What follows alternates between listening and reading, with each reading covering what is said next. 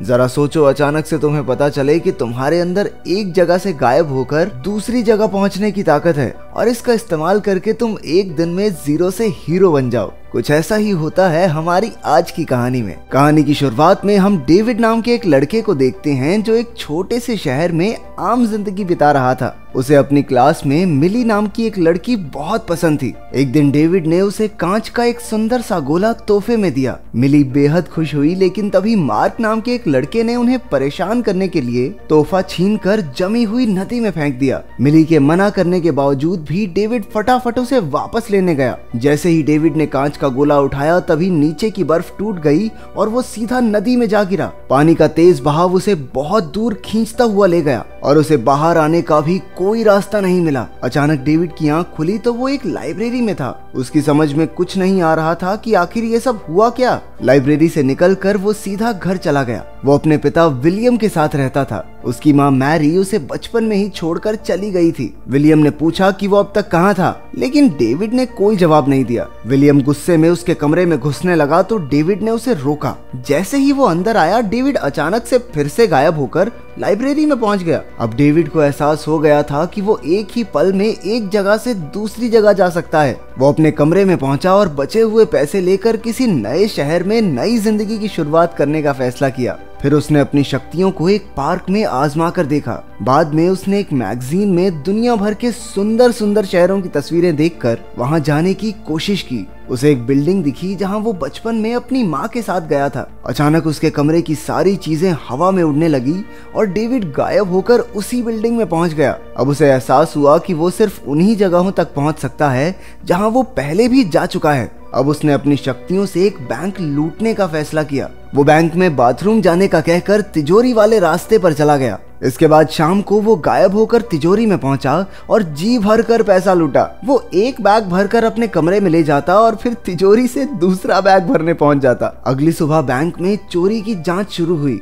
Rowland नाम के एक आदमी ने आकर कहा कि वो सरकार के लिए काम करता है। फिर उसने पिछले महीने जितने भी लोग बैंक में आए, उनकी वीडियोस निकलवाई। उसे पता चला कि बैंक की तिजोरी तो काफ़ी टाइम से खुली ही नहीं थी। और चोरी आखिर हुई कैसे, ये किसी को नहीं पता। रोलैंड को एक जगह से दूसरी जगह गायब होने वाले लोगों के बारे में थोड़ी जानकारी थी। और उसके मुताबिक ऐसे ही किसी आदमी ने ये काम किया होगा। कई साल बीत गए और डेविड अब न्यूयॉर्क में एक आलीशान घर में रहता है। उसके पास उसकी हर मनपसंद चीज़ है और वो जो चाहे वो कर सकता है। उसका पूरा घर दुनिया के अलग अलग कोनों की तस्वीरों से भरा हुआ था। उसका एक खुफिया कमरा भी था जहाँ वो अलग अलग देशों के पैसे रखता था। इसके बाद डेविड गायब होकर लंदन के एक बार में पहुँचा। उसे एक खूबसूरत लड़की दिखी और वो बिना सावधानी के गायब होकर उसके पास चला गया। ये सब ग्रिफिन नाम के एक आदमी ने देख लिया। पूरी रात लड़की के साथ बिताकर सुबह डेविड फिजी के समंदर में चिल मारने पहुँच गया। फिर वो इजिप्ट गया और एक चट्टान पर बैठकर खाना खाया। दूसरी तरफ़ एक जंगल में एक आदमी ऐसे ही बार बार गायब होकर भाग रहा था, लेकिन असल में एक तार उससे जुड़ी हुई थी जिससे वो गायब नहीं हो पा रहा था। तभी रोलैंड वहाँ आया और उस आदमी ने रोलैंड से पूछा कि आखिर वो चाहता क्या है। रोलैंड ने कहा कि जिन लोगों के पास भी इस तरह की शक्तियाँ हैं, उन्हें पकड़कर मौत के घाट उतार देना चाहिए। फिर उसने चाकू मारकर उस आदमी की जान ले ली। तभी रोलैंड को कुछ साल पहले हुई बैंक की चोरी के लिए कॉल आया। उधर डेविड वापस न्यूयॉर्क में अपने घर पहुँचा। उसने देखा कि रोलैंड भी वहाँ मौजूद था। रोलैंड ने कहा कि वो बैंक चोरी की जाँच कर रहा है, लेकिन वो पुलिस में नहीं है। डेविड ने उसे बाहर निकलने को कहा, लेकिन रोलैंड ने एक डिवाइस के ज़रिए डेविड को जोरदार बिजली के झटके देने शुरू कर दिए। डेविड ने गायब होने की कोशिश की, लेकिन वो कुछ मीटर दूर ही जा पाया। रोलैंड भागकर उसके पास गया और एक बार फिर बिजली का झटका देकर उसे नीचे गिरा दिया। तभी उसने डेविड की तरफ़ एक तार शूट किया और उसे जकड़ लिया ताकि वो कहीं भाग न सके। डेविड ने फिर भी गायब होने की कोशिश की और उसने एक दीवार पार करके तार काट डाली। उसने पैसों से भरे कई बैग उठाए और तुरंत गायब हो गया। अब वो अपने पिता के घर अपने पुराने कमरे में पहुँचा। विलियम ने उसे घर पर ही रुकने को कहा, क्योंकि उसे अपने बेटे की बहुत चिंता हो रही थी। डेविड ने कहा कि मेरी चिंता करने की कोई ज़रूरत नहीं है, और एक बार फिर से गायब हो गया। अगले दिन डेविड मिली को ढूँढने लगा। उसे वो एक बार में काम करती दिखाई थी। वहीं उसे मार्क भी मिल गया, और दोनों में फिर से झगड़ा शुरू हो गया। डेविड गलती से उसे गायब करके बैंक की तिजोरी में छोड़ आया। फिर वो मिली के पास लौटा, और दोनों में बातें शुरू हो गई। उसने यूँ ही झूठ कह दिया कि वो बैंक में काम करता है। बातों बातों में मिली ने बताया कि वो पूरी दुनिया घूमना चाहती है। डेविड ने उसे अपने साथ रोम चलने को कहा और वो खुशी खुशी मान गई। उनके पीछे ग्रिफिन छुप कर सब कुछ सुन रहा था। कुछ ही घंटों बाद डेविड और मिली रोम में कोलोसियम देखने जा रहे थे। उधर तिजोरी के अंदर मिलने की वजह से मार्क को जेल में डाल दिया गया था। वहाँ पर रोलैंड उससे मिलने आया। मार्क ने उसे सब सच बता दिया कि वो तिजोरी में कैसे पहुँचा। रोलैंड को अब रोम में डेविड और मिली की तलाश थी। वहीं रोम में डेविड और मिली की बातें प्यार भरे लम्हों में बदल गई। शाम को डेविड उसे कोलोजियम के बंद हिस्से में ले गया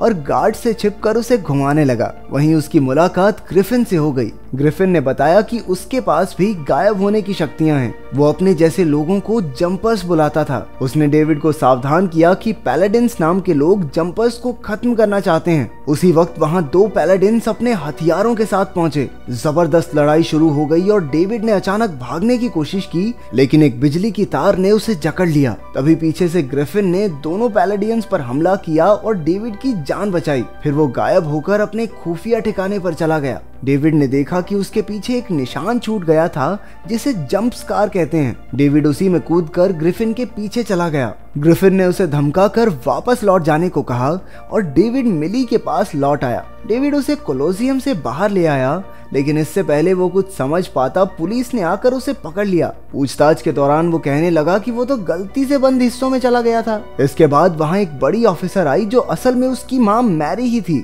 मैरी ने कहा कि उसके पास पैलेडिन से बचने के लिए सिर्फ़ 30 सेकंड का समय है। मैरी ने उसे हथकड़ी की चाबी दी और डेविड आज़ाद होकर मिली के पास चला गया। डेविड ने उसकी सुरक्षा के लिए उसे वापस घर भेज दिया। उधर रोलैंड विलियम के घर जाकर डेविड के बारे में पूछताछ करने लगा। लेकिन विलियम ने कहा कि उसने तो आठ साल से डेविड को नहीं देखा। उधर डेविड एक बार फिर से ग्रिफिन के खुफिया ठिकाने तक पहुँचा, जहाँ दुनिया भर के पैलेडिन्स की तस्वीरें लगी हुई थी। डेविड ने पूछा कि आखिर ये लोग जंपर्स के पीछे क्यों लगे हैं? ग्रिफिन ने बताया कि ये लड़ाई हज़ारों सालों से चली आ रही है। पैलेडिन्स बेहद धार्मिक लोग हैं, जिनके मुताबिक यूँ गायब होने की शक्तियाँ सिर्फ़ और सिर्फ़ भगवान के पास ही होनी चाहिए। उसने बताया कि वो डेविड को मारने के लिए किसी भी हद तक जा सकते हैं। इसका मतलब अब विलियम और मिली की जान भी खतरे में है। डेविड ने विलियम के पास जाकर देखा कि वो बेहोश पड़ा था। वो तुरंत गायब होकर उसे एक हॉस्पिटल में ले गया ताकि उसकी जान बच सके। इसके बाद उसने ग्रिफिन के पास लौट कर रोलैंड का पता पूछा,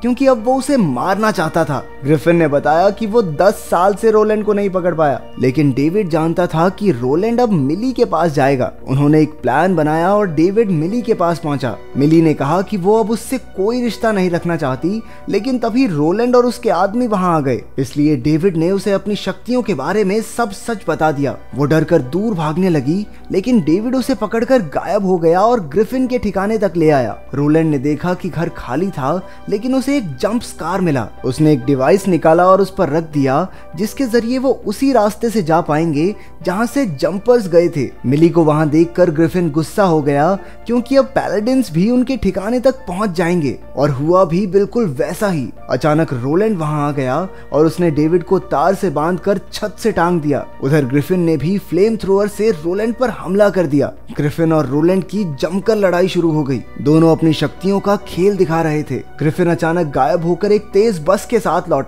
जो सीधा जाकर रोलैंड को कुचलने ही वाली थी। लेकिन रोलैंड एन मौके पर साइड होकर बच गया। रोलैंड मिली को मारने ही वाला था कि ग्रिफिन ने एन मौके पर आग फेंक कर उसे वापस जंप स्कार में भेज दिया। ग्रिफिन भी पीछे कूद पड़ा और दोनों मिली के घर पहुँचे। एक बार फिर से लड़ाई शुरू हुई और ग्रिफिन जंप स्कार में ले जाने वाला डिवाइस चुरा कर वापस अपने ठिकाने पर लौट आया। लेकिन पैलेडिन्स ने कमरे के जंप स्कार से तार फेंक कर मिली को वापस खींच लिया। डेविड मिली को बचाना चाहता था, लेकिन ग्रिफिन ने एक बॉम्ब निकाला। उसने कहा कि वो एक ही बार में सारे पैलेडिन्स को खत्म कर देगा। वो मिली के घर बॉम्ब लेकर जाने ही वाला था, लेकिन डेविड बॉम्ब छीन कर गायब हो गया। ग्रिफिन भी उसके पीछे भागा और दोनों में लड़ाई शुरू हो गई। दोनों लड़ते लड़ते एक से दूसरे देश में गायब होते रहे। कभी इजिप्ट, कभी न्यूयॉर्क कभी सैन फ्रांसिस्को में, लेकिन बॉम्ब के रिमोट की लड़ाई जारी रही। अचानक वो एक युद्ध के मैदान में पहुँचे और रिमोट ग्रिफिन के हाथ लग गया। लेकिन उसने देखा ही नहीं कि बिजली का खंभा उस पर गिरने वाला है। डेविड उसे लेकर वहाँ पहुँच गया और जोरदार बिजली ने ग्रिफिन को जकड़ लिया। ग्रिफिन ने मरते मरते डेविड से कहा कि वो मिली के घर ना जाए क्योंकि पाँच पैलेडिन्स उसे चुटकियों में खत्म कर देंगे। लेकिन डेविड मिली को बचाने के लिए कुछ भी कर सकता था। वो वहाँ पहुँचा और पैलेडिन्स ने उसे एक ही पल में छत से टांग दिया। डेविड ने फिर पूरा ज़ोर लगाकर गायब होने की कोशिश की, जिससे पूरा घर हिलने लगा। अचानक वो पूरे घर के साथ ही उस नदी में गायब हो गया, जहाँ उसे पहली बार अपनी शक्तियाँ मिली थी। कुछ पैलेडेंस डूब गए और डेविड घर को लाइब्रेरी में ले गया। उसने देखा कि रोलैंड अब भी ज़िंदा था। आखिरकार वो उसे लेकर गायब हुआ और कैनियन के सुनसान पहाड़ों पर अकेला छोड़ दिया। कुछ समय बाद वो अपनी माँ से फिर मिला। आखिरकार मैरी ने उसे बताया कि वो खुद भी एक पैलेडिन है। जब डेविड पाँच साल की उम्र में पहली बार गायब हुआ तो मैरी को दिल पे पत्थर रखकर उसे छोड़कर जाना पड़ा, ताकि बाकी पैलेडिन उस तक ना पहुँच पाए। अब भी वो दोनों कभी साथ नहीं रह सकते। इसलिए डेविड मिली के साथ गायब होकर एक नए शहर में ज़िंदगी बिताने लगा। अगर आपको चुनने का मौका मिले तो आप कौन सी सुपर पावर चूज़ करेंगे? कमेंट्स में ज़रूर बताना। मिलते हैं अगली वीडियो में।